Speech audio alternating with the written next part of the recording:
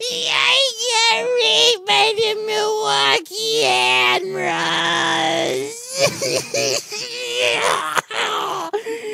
they ran me over with a Zamboni when they were done with me.